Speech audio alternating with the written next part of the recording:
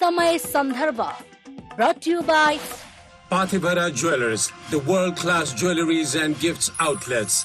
Columbus, Ohio, United States of America.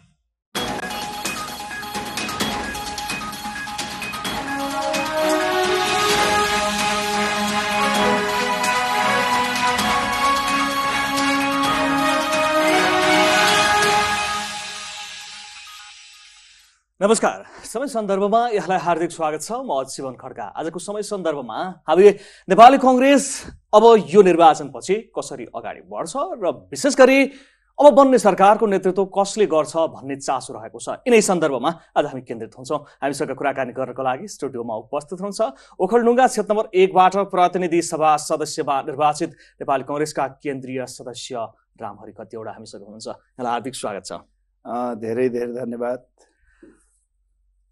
यहाँले चुनाव जितेर आउनुभयो हो जनताले के भने तपाईँलाई यसपटक झन्नै संविधान निर्माण पछाडि दुई तिहाईबाट सरकारमा पठाएका राजनीतिक दलहरूले नेतृत्व गरेको सरकारलाई समृद्धि र मुलुक निर्माण गर्ने अवसर प्राप्त भएको थियो त्यो गर्न सकेनन् तपाईँहरू गएर अब राजनीति स्थिरता दिनुहोस् मुलुकलाई एउटा समृद्धिको बाटोमा लानुहोस् राजनीति निकास दिनुहोस् र समग्र देशमा विकासका पूर्वाधारहरू खडा गर्नुहोस्। राजनीतिप्रति भएको वितृष्णा अलिकति विसङ्गति जे छ त्यसलाई अन्त्य गर्नुहोस् भन्ने सैद्धान्तिक विचारमा पनि अडिक रहनुहोस् भनेको भनेन। हामी त्यसमा त छँदैछौँ। नेकपा माओवादी केन्द्रहरूसँग सँगै चुनाव लडेर तपाईँले भोट मागेर हिँड्नुभयो। तपाईँले। अलिकति गलत गर्नुभयो भने कि भनेन जनता। त्यो ठिक हो एउटा कुरा। नेपाल जनताले त्यसरी भने कि भनेन? म तपाईँलाई भन्दैछु। नेपालको राजनीतिमा जसलाई बहुदलीय प्रतिस्पर्धा स्वीकार्य थिएन कानुनी राज्य स्वीकार्य थिएन सबै स्वीकार गरेर संविधान मानेर संविधानवादलाई अगाडि बढाएर हिँड्ने सबै पार्टीलाई भोट माग्नु कुनै अनौठो कुरा होइन।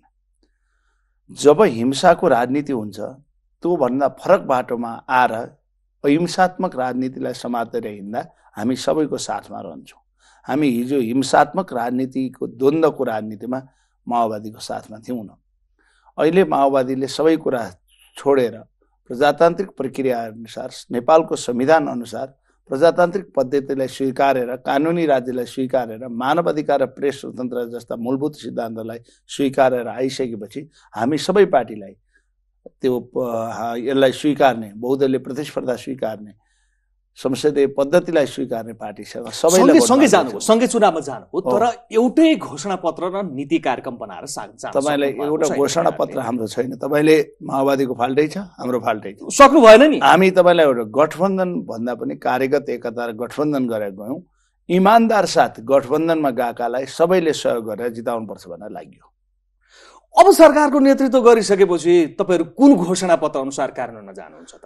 हाम्रो जे घोषणा पत्र छ त्यही नेपाली। कङ्ग्रेसको आफ्नै होइन छ, उहाँहरूको नेकपा सुन्नु माओवादी न, केन्द्रको आफ्नै कतिपय छ। मिल्ला जुल्ला कुराहरू नेपालको राजनीतिलाई स्थिरतामा लाने नेपाली जनतालाई सुख सुविधा उपलब्ध गराउने राष्ट्रियता कमजोर हुन नदिने नेपाली जनताको हक अधिकार र संविधानमाथिको आक्रमणलाई निस्तेज गर्ने शक्तिहरूलाई निस्तेज पार्ने काम जो सबै एक भएर जान्छन् सबैका घोषणापत्र ती भाग कार्यान्वयन हुन्छ सँगै जानुहुन्छ अब यो नेपाली कङ्ग्रेसलाई निर्वाचन अघिदेखि नै राम्ररी त्रासै त्रास छ क्या? माओवादी केन्द्र फुत्केला कि भन्ने त्रास क्या? अन्त गएर मिल्ला कि भन्ने त्रास? किन नेपाली कङ्ग्रेसलाई यति महत्त्वपूर्ण त्रास रह्यो यो माओवादी किन हामीलाई? त्यो त्यो चिन्ता हामीलाई छैन। जो फुत्किनुहुन्छ उहाँहरूलाई चिन्ता हो। पिपल पार्टी राजनीति स्थिरता हुँदैन। जसुकैलाई पनि। हामी अहिले एउटा एकछिनपछि अर्को भरे अर्को कुरा गर्ने पक्षमा हामी जाँदैनौँ तपाईँलाई अनुरोध गरेँ। जे स्ट्यान्ड हाम्रो हिजो थियो आज पनि त्यही छ। हामीले मूलभूत रूपमा बहुदलीय प्रतिस्पर्धा र आध्यात्मिक निर्वाचन प्रणालीलाई पहिलो प्राथमिकता राखेर गएका हौँ। कोही पनि योभन्दा बाहिर यहाँकै सभापतिले हिजो चुनाव अघि भनेकै कुरा हो नि। हामीले माओवादीलाई सँगसँगै नलिए एमालेसँग मिलिहाल्छ नि। हामी सकिहाल्छौँ एउटा। कुरा भनौँ। कसैको हिम्मत छ भने अहिले पनि हामी अनुरोध गर्न आउँछौँ। र सबै पार्टीहरू सिङ्गल सिङ्गल चुनाव लडौँ न। कसको हैसियत के हुँदो रहेछ? यहाँ अहिले एमाले भन्दैछ नि हामी त सिङ्गल। राप्रपासँग गएको छ हृदय त्रिपाठीसँग गएको छ कमल थापासँग गएको छ उपेन्द्र यादवजीसँग गएकै हो। सबै पार्टीहरू गएका छन् नि। गठबन्धन त गरेकै थियो नि सबैको। हाम्रो पनि एउटा पार्टीसँग गठबन्धन भएको हो त्यसमा विवादै छैन। तर तपाईँलाई फेरि पनि भने सबै सिङ्गल सिङ्गल चुनावमा प्रतिस्पर्धामा कोही स्वीकारेर आउँछ भने काङ्ग्रेस तँसँग सधैँ प्रतिस्पर्धा गर्न तयार छ र नेपालको राजनीतिमा पहिलो पार्टी तब पनि भन्छ जोस माओवादी केन्द्रको साथ जरुरी भइरहेछ नेपाली कङ्ग्रेसलाई अहिले यो। अहिले म भन्छु नेपालको राजनीतिमा समावेशी र समानुपातिक सिद्धान्तका आधारमा चुनाव गर्ने र प्रतिनिधि सभामा समावेशी आधारमा समानुपातिक प्रतिनिधित्व गर्ने हुँदा सबै पार्टीहरूलाई चुनाव अगाडि पछाडि कसैको पनि स्पष्ट बहुमत सुरुमै नआउने हुँदाखेरि यो पद्धतिले कोही न कोहीसँग कार्यगत एकता तालमेल र गठबन्धन गरेर जानुपर्ने हुन्छ। माओवादी केन्द्रले थोरै अस्ति शनिबार पदाधिकारी बैठक बसेर थोरै टुच्च दियो नि त काङ्ग्रेसलाई। टुच्च दियो त्यसको भोलिपल्टै म कमरेड प्रचण्डसँग भेट्न पुगेको थिएँ बिहान। म मान्य गृहमन्त्रीज्यूसँग पनि कुरा गरेर भेटेँ त्यस दिन। र प्रचण्डसँग भेट्न गएको थिएँ। उहाँलाई मैले त्यतिखेर भनेको पनि थिएँ। अलिकता अस्थिरता सधैँ भयो भने राजनीति अप्ठ्यारो हुन्छ। माओवादीलाई पनि एउटा ज्ञान छ नि नेताहरूलाई। दुई हजार चौसठी सालमा दुई सय चालिसवटा निर्वाचन क्षेत्रमा चुनाव हुँदा एक सय एक्काइस क्षेत्र आफै एक्लैले जित्न सक्षम माओवादी गठबन्धन गरेर अठार सिट मात्रै जितेको अवस्था छ। अस्थिरताको राजनीतिले मुलुक कहीँ पनि जाँदैन। हामी चाहन्छौँ यति छिटो परिवर्तन गर्ने पक्षमा प्रचण्ड तर हिजो। गठबन्धनको बैठकमा बालुवाटारमा नि मेरो गठ- कुरा सक्न दिनु तपाईँको कुरा आउँदैछु। यति छिटो राजनीति परिवर्तन मिनट मिनटमा गर्ने तपाईँको बुलेटिनमा फ्ल्यास न्युज आउँछ नि त्यस्तो गरी राजनीति परिवर्तन हुँदैन। त्यसको परिणाम उपेन्द्रजीले खानुभयो नि। पाँच वर्षको अवधिमा एक दिन अगाडि ओलीसँग बस्नुभयो भोलिपल्ट ओली छोड्नुभयो पर्सिपल्ट शेरबहादुरजीसँग बस्नुभयो फेरि शेरबहादुरजीसँग छोड्नुभयो फेरि ओलीसँग जानुभयो अहिले फेरि भन्दै हुन्छ ओलीले पनि धोका दियो। आफू एउटा स्थिर राजनीतिमा बस्न नसकेर छिटो छिटो पद प्रतिष्ठाका लागि परिवर्तन गर्दै जाने हो भने जनताले पनि धेरै विश्वास गर्दैन। त्यो कसैलाई पनि हामीलाई पनि गर्दैन ओलीजीलाई पनि गर्दैन। उपेन्द्रजीकै हालत देख्नुभयो नि। एकचोटि दुई हजार चौहत्तर दुई हजार सत्तरी पछाडि मधेस मुभमेन्ट मधेस र माओवादीको सशस्त्र द्वन्द्वबाट आएको मान्छेहरू बन्दुक नाउँ पनि गणतान्त्रिक रेस्टुरेन्ट राख्ने। बन्दुकसँग र त्यो मधेससँग नझुक्ने त त्यतिखेर मधेसवादीका कुराहरूसँग। आज त्यो मधेसले पायो पाएन। हामी मधेसलाई अझ दह्रो र अझ अधिकार सम्पन्न मधेस बनाएर देशको राजनीति मूल प्रभावमा उहाँहरूको प्रतित्व गराउन अहिले पनि चाहिरहेका छौँ। तर केही नेताहरू त्यो नाउँमा सत्तामा पुग्ने त्यसपछि आफू मात्र मोटाउने परिणामबाट त जनताले बताउनुहोस् न। त नेपाली कङ्ग्रेसलाई माओवादीको आवश्यकता हो कि माओवादीलाई चाहिँ नेपाली हामी सबैको आवश्यकता महसुस गर्छौँ एमालेको पनि महसुस गरेका छौँ देश बनाउने कुरामा माओवादीको पनि प्रतिगामी। भन्नुहुन्छ कसरी आवश्यकता। महसुस गर्नुहुन्छ एमालेको तपाईँलाई भन्नु वाल्मिकी पनि कुनै बेला डाकुका रूपमा चिनिएका थिए सुध्रिएर आयो भने हामी सबैलाई साथ लिएर जान्छौँ हाले त्यो त गठबन्धन गरेको थियो ओलीजीले पनि। ओलीजीको पनि हेर्नुहोस् न हैसियत कहाँबाट कहाँ पुग्यो त? नेपालको इतिहासमा दुई तिहाई गठबन्धन गरेर पार्टी मिलाएर ल्याएको पार्टी अहिले शिलासा खोज्दै टालाटुली बटुली गर्दै राप्रपाको लाई लिएर अनि चुनावमा आएर म चाहिँ अहो म तल परे पनि मेरा खुट्टी माथि नै छन् भन्ने जस्तो धेरै सिट तल चाहिँ छैन। होइन कुनै पार्टीको पनि भने म एउटा कुरा भने यो सुविधाजनक बहुमत झन्डै दुई तिहाई संविधान संशोधन गर्न पनि अधिकार थियो कानुन संशोधन गर्न अधिकार थियो हामीले कसैको विरोध गरेका थियौँ यो अवसर नेपालको राजनीतिमा दुई हजार पन्ध्र सालमा बिपी कोइरालालाई थियो तर राजा महेन्द्रले दिएनन् काम गर्न। तर यो अवसर अहिले बहुदलीय व्यवस्था स्थापित भएको थियो संविधान जारी भएको थियो संविधान सभाबाट चुनाव भएको थियो गणतन्त्र आएको थियो स्थानीय तहको चुनाव भएको थियो सङ्घीयतामा गएको थियो यत्रो हुँदा पनि मुलुकलाई स्थिरताको बाटोमा लाने काम त कसले गर्यो त भन्नुहोस् त? हामीले गरेका हौँ। ओलीजीले गरेको होइन। यो अवसर नेपालको राजनीतिमा कसैले पाउँदैन थियो तर यो पाँच वर्ष निरर्थक रूपमा नेपाली जनताको मतलाई निरर्थक प्रयोग गरियो।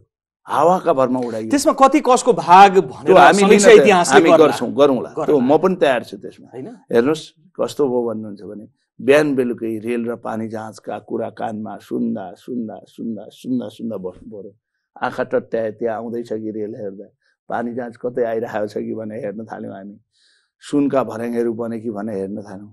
नेपाली जनताका समृद्धिका दिनहरू ग्यासका पाइपहरू घर घरमा आएको हामीले सुन्न पायौँ। कति आनन्द भएको थियो। तर हेर्नुहोस् हावाको दारी कुरा हावामा चल्ला काट्ने हावामै तपाईँको खाना पकाउने मासु भात बनाउने खाने बेलामा केही न केही जस्तो नेपाली जनतालाई सपना देखाउने काम भयो र यस्तो विरक्तको राजनीति जन्मियो जसको कारण आज राप्रापा र स्वतन्त्रहरू एकदम बढी आउने अवस्थाको सिर्जना भयो। हिजो बैठकमा भन्नुभयो प्रचण्डजीले र माधवजीले नेपाल कङ्ग्रेसको भोट हामीलाई आएन ट्रान्सफर भएन। तपाईँले त सहयोग गर्नु भएन अरे नि त। सत्य हो तपाईँलाई लाग्छ? प्रचण्डले भने होइन। माधवजीले भने। होइन माधवजीलाई त्यो लाग्छ। अहिले म कसैको आलोचना गर्न चाहन्न अहिलेको गठबन्धन निर्माण गर्न यो संविधान रक्षार्थमा उहाँको पनि ठुलो योगदान छ। पार्टीमा धेरै वर्ष लगानी गरेर पार्टी तोडेर आएर उहाँ लागिरहनु भएको छ तर तिन पर्सेन्ट हामीले भोट नहालेको ठाउँमा तिन पर्सेन्ट आउन सम्भव भयो तिन पर्सेन्ट भोट आउन सम्भव भयो त।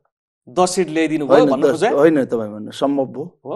हामी चाहन्छौँ राष्ट्रिय पार्टी माधवजीको पार्टी बनोस् भन्ने हाम्रो पनि चाहना छ। एउटा योगदान गरेका नेताहरू। प्रचण्डजीलाई पनि त्यो ज्ञान होला नि त। म किन धेरै आलोचना गरौँ? म ओखलढुङ्गा जिल्लाको प्रतिनिधि सभाको सांसद हुँ। मेरो क्षेत्र पहिला मैले जितेको पहिला दुईवटा निर्वाचन थिए अहिले एउटा भएको छ। चारवटा पालिकामा चारैवटा पालिका कङ्ग्रेसले जितेको उन्चालिसवटा मध्ये दुईवटा वडा मात्र माओवादीले जितेको तिन हजार चार हजार भोट थियो होला तिन हजार जति साढे तिन हजार तर सत्र हजार ल्याएर सबभन्दा बढी मतले मेरो बरु क क्षेत्रको मान्य नेपाली काङ्ग्रेसको दुईचोटि सभापति भएको केन्द्रीय सचिव प्रदीपजी हुनुहुन्छ। उहाँले तिन सय एकसठी भोटले मात्रै विजय प्राप्त गर्नु मसँग उठेको क्यान्डिडेट माओवादीकोले एघार सयले जित्नुभयो। भन्दाखेरि भोट ट्रान्सफर नभएको भएदेखि नदिएको भए जित्न सम्भव थियो। गलत बोल्नु त्यसो भए होइन म? गलत सही के बोल्नु मलाई मसँग भन्नुभएको छैन। तर यो बारेमा कुनै न कुनै न कुनै दिन समीक्षा हुन्छ। हामी गर्न तयार छौँ। सबैसँग बसेर तयार छौँ। अब यो त्यो भनेर गठबन्धन बिगार्ने माओवादीले यो गरेन काङ्ग्रेसले त्यो गरेन भन्ने बेला छैन। अब यो गठबन्धनलाई निरन्तरता दिएर पाँच वर्ष। स्थायी स्थायी सरकार जस्तो अनुभूति दिएर जनतालाई। हामीले अब फेरि पनि जनताको बिचमा जाँदा यो गरिनस् त्यो गरिनस् तर पनि आदि इत्यादि फुलस्टप लाउने ठाउँ छैन। अब काम गर्ने बेला छ बोल्ने मात्र बेला छैन गर्ने बेला छ त्यो काम गर्ने बेलामा अब कुनै कुरामा अलमलिनु बायाँ छैन। अब अभिमतलाई नेतृत्व- स्वीकार्नुपर्छ। नेतृत्व नेतृत्व। अब यहाँनिर सबभन्दा सकसको विषय यहाँलाई त्यही नै छ। प्रचण्डजीले चाहिँ अहिले पहिलो कार्यकालको प्रधानमन्त्री र सरकारको नेतृत्व चाहिँ म मैले पाउनुपर्छ। हिजो मैले त्यही सिटको काङ्ग्रेसलाई पनि प्रधानमन्त्री बनाएकै हो भन्ने खालका आशयहरू आउन थालेका छन् र उहाँको दावेदारी चाहिँ निरन्तर रूपमा छ र शनिबारको त्यो थ्रेड पनि त्यही नै हो। यहाँले त्यो कुरा बुझ्नु पनि भएको छ। अब नेपाली कङ्ग्रेसले पहिलो कार्यकालको प्रधानमन्त्रीमा स्वीकार छ? माओवादीको प्रधानमन्त्री। अहिलेको गठबन्धनमा प्रधानमन्त्री हुन लायक धेरै मान्छेहरू मैले देखेको छु। धेरै मान्छेहरू। यहाँको दलमा तपाईँलाई भन्छु- काङ्ग्रेसमै धेरै हुनुहुन्छ। पार्टी सभापतिदेखि युवा नेताहरूसम्म बिचका नेताहरूदेखि सबैसम्म। माओवादी केन्द्रमा पनि सिङ्गो दावेदार प्रचण्ड नै हुनुहुन्छ। माधव नेपालजी पनि चा दिएदेखि चलाउन नसक्ने होइन होला जस्तो लाग्छ। उहाँ पनि उहाँ पनि प्रधानमन्त्री भइसक्यो। इमान्दारै मान्छे हो साह्रै करप्टेड मान्छे होइन उहाँ पनि। उहाँ पनि नराम्रो मान्छे होइन। नेपालको राजनीतिमा राम्रै योगदान गर्नुभएको छ। म माधव नेपाललाई सम्झन पनि चाहन्छु। कृष्ण प्रसाद भट्टराई जस्तो निष्कलङ्क राजनीतिज्ञ खोजिरहेको मुलुकका बेला राम्रा मान्छेहरू भयो भने त्यसले पोजिटिभ मेसेज दिन्छ। पार्टीभित्र हुनुहुन्छ हाम्रै पार्टीभित्र पनि। हेर्नुहोस् निष्कलङ्क नै नेता हुनुहुन्छ पूर्णबहादुर खड्का अहिले ठिक छ उपसभापति। यता आउँछु म- म, म थोरै बताउँछु। समय मात्र माग्छ। प्रचण्ड र प्र- नेतृत्व चाहिँ कसको अब स्पष्ट रूपमा ठुलो दल छ त्यसैको अहिले पहिलो चरणमा।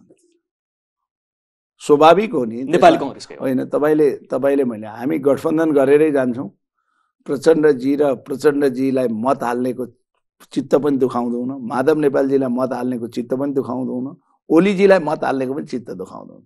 ओलीजीका पनि केही साथीहरू मन्त्री बन्न पठाउनुहुन्छ भने ल्याइदिन्छु राखिदिन्छु। आउनुहोस् एउटा नयाँ संस्कृतिको विकास गरौँ। राष्ट्रिय राजनीतिमा नयाँ संसदमा प्रतिपक्ष नै नहुने। छन् प्रतिपक्ष बस्न रहर भए बस्दा हुन्छ। नभए मुलुक निर्माणमा हामी एक भएर गयौँ भन्न के गाह्रो भयो प्रधानमन्त्री मात्रै सबै कुरा होइन नि यार। हो? त्यो संस्कार त तपाईँहरूले भएन यसअघि झन्डै दुई तिहाईको सरकार हुँदा हामी पनि सँगै छौँ भए हुन्थ्यो नि त। गऱ्यौँ न। कुन दिन तपाईँले नेपाल बन्द गरौँ काङ्ग्रेसले? दुई तिहाईको सरकार हुँदा। कुन दिन चक्काजाम गरौँ कुन दिन संसदमा संसद अवरुद्ध गर्यो? कुन दिन केपी ओलीका पुत्ला जलाएर हिँड्यो काङ्ग्रेसले? गरेन नि। त्यो संस्कार र संस्कृति सिक्न पनि म अनुरोध गर्छु नेकपा एमालेका साथीहरूलाई अहिले बेला भएको छ आउनुहोस् सहयोग गर्नु प्रचण्ड होइन। नेपाली कङ्ग्रेसकै नेतृत्व होइन अहिले अब गठबन्धनको मिटिङ बस्छ नेपाली काङ्ग्रेसको सेन्ट्रल कमिटीको पनि मिटिङ बस्छ संसदीय दलको पनि मिटिङ बस्छ निर्णय हुन्छ। मलाई लाग्छ पहिलो पटक काङ्ग्रेसै पहिलो दल भएर काङ्ग्रेसकै नेतृत्व सरकार ठिक छ स्पष्ट हुनुहुन्छ यहाँहरू। अब काङ्ग्रेसको 200% नेतृत्वमा 200% काङ्ग्रेसको नेतृत्वमा आइसकेपछि पनि तपाईँहरूसँग पाँच छजना प्रधानमन्त्रीका उम्मेद्वारहरू देखिनु भयो अब संसदीय दलको नेता बन्नका लागि। हजुर होइन। अब त्यहाँ वरिष्ठ नेता रामचन्द्र पौडेलजीले पनि दावीदारी राख्नुभयो प्रकाशमान सिंहजीले दावीदारी राखिरहनु भएको छ। होइन? त्यसपछि गगन थापाको त अलि अगाडिदेखि नै चुनावी एजेन्डा नै म यो ठाउँको प्रधानमन्त्रीको हैसियतमा चाहिँ चुनाव लड्दैछु भनेर अगाडि बढिराख्नु भएको छ। अब सभापति आफैमा दावेदारी भइ नै हाल्नुभयो अब यहाँ बिचबाट तपाईँहरूले कसलाई छानेर संसदीय दलको नेता बनाएर प्रधानमन्त्रीको उम्मेद्वार बनाउनुहुन्छ? असाध्यै योग्य मान्छे हुनुहुन्छ। मैले भने काङ्ग्रेसभित्र साह्रै क्षमतावान मान्छे हुनुहुन्छ।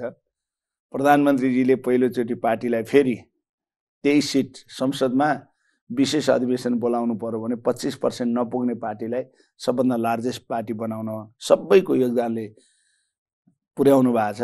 हामी झन्डै नब्बे सिटमा चुनाव नलड्दा पनि यति ठुलो पार्टी बनेका छौँ। अब यसको स्वाभाविक दावेदार सभापति हो। सुन्नुहोस् म। भन्दैछु रामचन्द्र पौडेलको झन् यत्रो वर्षको राजनीति भयो सबै पद पाउनुभयो धेरै लोभ नगर्ने स्पष्ट वक्तै हुनुहुन्छ इमान्दार हुनुहुन्छ उहाँको पनि दाबीलाई अनुपयुक्त मान्दिनँ। अ, गणेश मानजीको छोरा मात्र होइन प्रकाश मान उहाँको पनि योग्यता पुगेकै छ।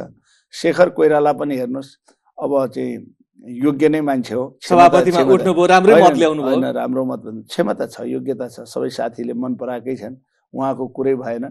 अब त्यसपछि तपाईँले लिएका नामहरू अब त्यो मध्ये अब पूर्णवारजी पनि इमान्दार राजनीतिज्ञ हो पार्टीभित्रको तपाईँलाई निष्कलङ्क नेता हो क्षमता छ उहाँसँग पनि।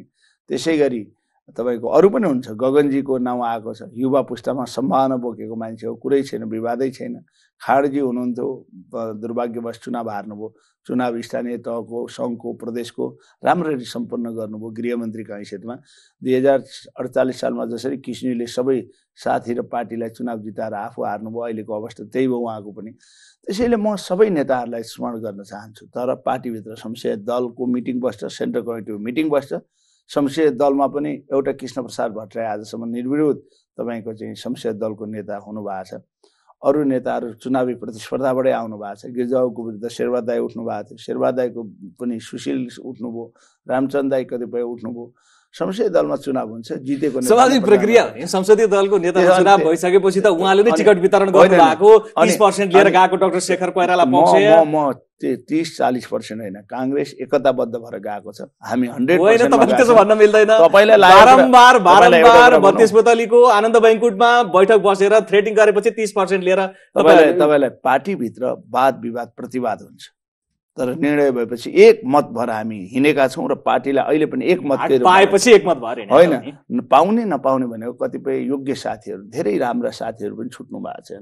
हामीलाई पनि पीडा भएको छ। संसदमा आवाज उठाउने क्षमता भएका मान्छेहरू छुट्नुभयो तर पार्टीसँग सीमित स्रोत गगनको। सम्भावना छैन अहिले सबैभन्दा? बढी चर्चाको विषय र अर्का महामन्त्री विश्वप्रकाश शर्माले नि झापामा गएर हाम्रा अबका प्रधानमन्त्री गगन थापा नै हो होइन। प्रधानमन्त्री अबका भन्नुभयो नि त अब त भोलिका विश्वप्रकाशजी हो गगनजी हो म हो अरू हो यो पाँच वर्ष कार्यकालको लागि भन्नुभयो विश्वजीले होइन पाँच वर्ष कार्यकालमै सम्भावना छ नि किन नहुने भोलि परिस्थिति बन्यो भने तर तत्कालै चाहिँ म अहिले संसदीय दलमा चाहिँ सभापति नै जित्नुहुन्छ। मैले बाहिर यसो सरसर्ती सुनेको माओवादी केन्द्रका नेता काङ्ग्रेसका नेताहरू के भन्दा रहेछन् भने पहिलो कार्यकाल चाहिँ अब प्रचण्डले चलाउने।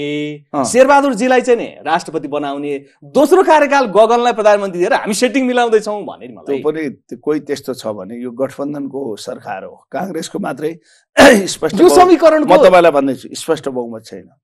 अहिलेको प्रधानमन्त्रीलाई माओवादीले पनि स्वीकार्नुपर्छ। समाजवादीले पनि स्वीकार्नुपर्छ मधेसवादी पनि हामी लिँदैछौँ उहाँहरूले पनि स्वीकार्नुपर्छ काङ्ग्रेसभित्रकै सबै नेताले पनि स्वीकार्नुपर्छ। त्यसमा म तपाईँलाई भन्छु क्षमता र योग्य भएका सबै साथीहरू आउनुभयो भने मेरो विरोध छैन तर सम्भावना गठबन्धनको भएकोले अहिले सभापतिकै सम्भावना बढेको तर किन छैटौँ पटक फेरि प्रधानमन्त्री बन्ने? भन्छन् क्या जनताले चाहिँ अब। सही कुरा होला। जनताकोबाट केही छैन। डेलिभरी केही दिन सक्नुपर्छ। नेपाली कङ्ग्रेसलाई जीवन्त राख्ने हो भने अब केही परिवर्तन जरुरी छ तपाईँले। भनेको युवाहरूको चाहना पनि छ धेरै साथीहरूको चाहना पनि छ। त्यसमा मेरो पनि एकदम पोजिटिभ एटिट्युड छ। मुलुक बनाउन पार्टीका नेतालाई मात्र व्यवस्थापन गर्ने होइन। मुलुकलाई व्यवस्थापन गर्ने बेला छ। हामी मुलुकलाई व्यवस्थापन गर्छौँ। तर अहिले गठबन्धन भएकोले फेरि पनि भने गठबन्धन भएकोले गठबन्धनका सबै नेताहरूले निर्णय गरेर भएको निर्णय मेरो स्वीकार्य छ म त्यही बाटोमा जान्छु। तर अहिलेको लागि यहाँले देखेको त यहाँ त फेरि अब मैले पनि मात्र होइन तपाईँले देख्यो पनि तपाईँले जतिसुकै मलाई क्वेसन्स गर्यो भने तपाईँले पनि रियल कुरा देखिरहनु भएको छ। तर केही कुराहरू लिन खोजिरहनु भएको छ। मैले दिने कुरा पनि यही हो। सबैको चाहना पनि छ। तर साँच्चै नै भोलि प्रचण्डले होइन अब फेरि पनि के हो के हो अर्को इलेक्सनसम्म हाम्रो हैसियत कहाँ पुग्ने हो? अब हामी एकचोटि ओलिजासँग मिलेर जाने हो कि भन्ने मनस्थितिमा पुग्नु भयो भने त स्थिति फरक हुन्छ नि फेरि। जानुभयो भने हामी के नाइ भन्छौँ? प्रतिपक्षमा होइन न कुरा हेर्नुहोस् राजनीतिमा कोही स्थायी शत्रु पनि हुँदैन स्थायी मित्र पनि हुँदैन। हिजो सशस्त्र द्वन्द्वको बेला प्रचण्डलाई बम हान्ने प्रचण्डले बम हान्ने शेरबहादुर देवा शेरबहादुर देवाले टाउको मूल्य तोकेको प्रचण्ड। यति छिटो देश र संविधानका लागि नेपालको राष्ट्रियताका लागि लोकतान्त्रिक पद्धतिका लागि मिलेर जानुभएको छ। मलाई लाग्दैन केपी ओली हुन्जेल नेकपा माओवादी भन्ने पार्टी केपी ओलीका साथमा रहन्छ भन्ने मलाई लाग्दैन। उहाँको व्यवहार हेर्नुहोस् शब्द हेर्नुहोस्। तपाईँ सहन सक्नुहुन्छ? त्यो बोलेका शब्दहरू कसरी भन्न सक्यो त अस्ति हामी। खुल्ला छौँ भनेर। ठिक छ त। उहाँहरू जानुभयो भने हेर्नुहोस् न त तपाईँ र म यहीँ तपाईँ टेलिभिजनमै काम गर्नु होला म पनि यतै कतै ल्याएँ भने बोलाएर भन्नु होला। तपाईँले त भन्नुहुन्थ्यो स- जानुभएछ त भनेर भन्नुहोस् न। त्यति सजिलो छैन। केही शक्तिहरू राष्ट्रिय अन्तर्राष्ट्रिय शक्तिहरू प्रधानमन्त्री बन्ने लोभले फाँकिदियो भने जाने सम्भावना लोभले मात्रै गर्दा त ओलीले लोभले गर्दा आज ध्वस्त भएको होइन। आफ्नै पार्टीका साथीहरूलाई अपमान गर्दा आफू मात्रै बन्छु भन्दा परिणाम के भयो? दुई तिहाई कहाँ पुग्यो? छर्लङ्ग अहिले सातवटा प्रदेशमा छवटा प्रदेशमा सरकार भएको। अहिले कुनै प्रदेशमा गठन गर्न नसक्दा ओलीको हालत के भएको? ठिक छ म अन्तिममा छु रामहरिजी राजनीतिक अस्थिरताको अन्त्य कहिले हुन्छ? अब- जनताका मुद्दामा कहिलेदेखि अब हामी? अहिलेदेखि सुरु गर्छौँ। व्यक्तिगत पद प्रतिष्ठा होइन। हामी मुलुकका लागि सोचौँ। म कुन पद पाउँछु पाउँदिनँ त्योभन्दा ठुलो कुरा हामीले मुलुकलाई एउटा स्थिरताको बाटोमा लैजाउँ। त्यो बापत मैले केही पाउँदिनँ भने पनि म संसदको भूमिका निर्वाह गर्न तयार छु। मभन्दा ठुलो देश हो। जनता हुन् जनताका इच्छा र आकाङ्क्षाभन्दा बाहिर गएर व्यक्तिगत लोभ लालच र पद र प्रतिष्ठामा नफसौँ भन्ने अनुरोध गर्न चाहन्छु। नेपाली कङ्ग्रेसले यस्तै प्रतिबद्धता जनाएको सत्तरी बहत्तर वर्ष भयो। त्यसैको त्यसैको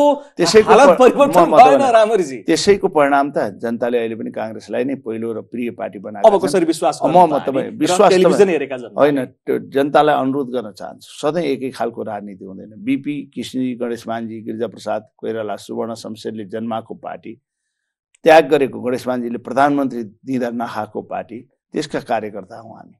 राजा भनेर हिँड्दा राजा निरङ्कुश हुँदाखेरि बम हानेका पार्टीका कार्यकर्ता हौँ हामी। हामी पद र प्रतिष्ठाभन्दा मुलुकका लागि लडेका हौँ। प्रधानमन्त्री नै मात्रै चाहेको भए बिपी कोइराला आजीवन प्रधानमन्त्री हुनुहुन्थ्यो। तर त्योभन्दा जनताको अधिकारका लागि लडेका हौँ। राजनीतिक दिनुहुन्छ? तपाईँ ढुक्क हुनुहोस्। यो पाँच वर्षमा हामी केही साथीहरू मैले भने काङ्ग्रेसभित्रका पनि केही साथीहरू हामी पद र प्रतिष्ठाभन्दा मुलुक र देशका लागि र राजनीति स्थिरताका लागि सबै पार्टीलाई समायोजन गर्नका लागि पार्टीभित्रका पनि विकृति अन्त्यका लागि हामी पहल गर्छौँ। जनताले सोचेका कुराहरूमा यहाँहरू केन्द्रित हुनुहुन्छ हामीलाई जनताभन्दा ठुलो नेता होइन नीति नेताको नाता होइन हामी नाता र दाताभन्दा मुलुकका बारेमा सोच्ने प्रवृत्तिको विकास गर्छौँ र लेखेर राख्नुहोस् हामीलाई पद र फेरि पनि भने व्यक्तिगत पद र प्रतिष्ठा भन्दा पनि मुलुकका बारेमा सोचौँ भनेर हामी पहल गर्छौँ। पार्टीभित्र पनि संसदमा पनि हाम्रो त्यही पहल हुन्छ हस् यहाँहरूको यो प्रतिबद्धता कार्यान्वयनमा जाओस्। यहाँहरूले जसरी जनताका माझमा भर्खरै जे बोलेर आउनु भएको छ जसरी मत लिएर जितेर आउनु भएको छ त्यो मतलाई कदर गर्नुहोस्। हाम्रो पनि त्यही बाटोमा जान्छौँ। जनताभन्दा ठुलो केही होइन। जनताको आशालाई निराशामा परिणत हुँदो हुन गर्दौ राजनीतिक खिचातानी नगर्नुहोस् सहमति गरेर अगाडि हाम्रो पनि त्यही मेरो- जनताको पनि त्यही धन्यवाद। म आजै तपाईँलाई मैले भनेको थिएँ आज ओखलडुङ्गा जाँदै थिएँ। तपाईँले धेरै प्रेसर तपाईँहरूले गर्नुभयो। यहीँबाट ओखलडुङ्गा जा भन्नुभयो यहीँबाट जाँदैछु। मेरो त्यहाँ भेटघाट कार्यक्रम नै बाँकी छ। दुई दिनका लागि आएको थिएँ। हिजो कृष्णप्रसाद भट्टराईको अ, बाँडे गाउँमा पुराण प्रधानमन्त्रीजीले पूजाआजा गरेर शुभारम्भ गर्नुभयो। त्यो कार्यक्रममा पनि म आइपुगेको थिएँ। आजै ओखलडुङ्गा गएर फेरि म दुई तिन दिनमा आउँछु केही ठाउँहरू घुमेर। मैले भने राजनीति इमान्दारिता हामी कायम गर्छौँ जनताको अभिमतलाई हामी निराशामा परिणत हुन दिँदैनौँ। सबै पोलिटिकल पार्टीका साथीहरू विशेष गरी नेपाली काङ्ग्रेस र अन्य पार्टीकालाई पनि अनुरोध गर्न चाहन्छौँ। व्यक्तिगत इच्छा र आकाङ्क्षा भन्दा पनि मुलुकको बारेमा सोचेर अगाडि बढौँ। मुलुकले एउटा बाटो लिन्छ। अब हामीसँग अरू खेर फाल्ने समय छैन। जनतासँग सधैँ भाषण गरे मात्र हुँदैन काम गर्ने बेला आएको छ यही बाटोमा लागौँ धन्यवाद। हस् थ्याङ्क यू सो मच धेरै धेरै धन्यवाद। दर्शकबिन आजको लागि समय सन्दर्भको समय सक्यो हामीलाई पनि आगे दिनुहोस्। नमस्कार।